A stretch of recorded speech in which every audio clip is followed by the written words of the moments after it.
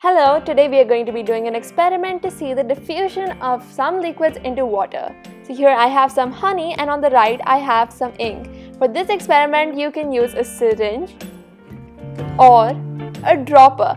I will be using a dropper because it's much easier to show the activity. So I have two beakers and and both of them have 100 ml of water. I'm going to put some ink in one and some honey in the other. We are going to see and observe the diffusion. So I'm going to take some ink in my dropper and take an equal amount of honey in the spoon.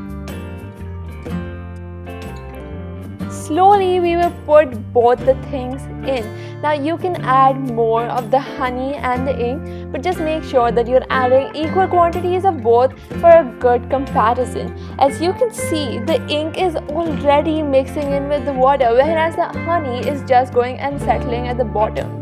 Well, there's a simple reason for this. The particles of the ink are not as closely packed. That is, the ink is not as dense as the honey.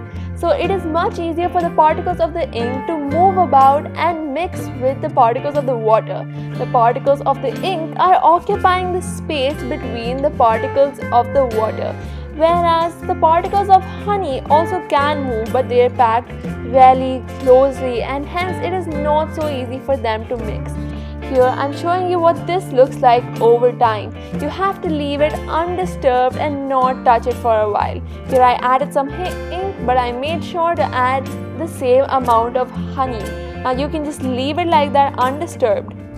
So I left it for about an hour and then after an hour you can see that the ink has completely mixed whereas the honey is still at the bottom.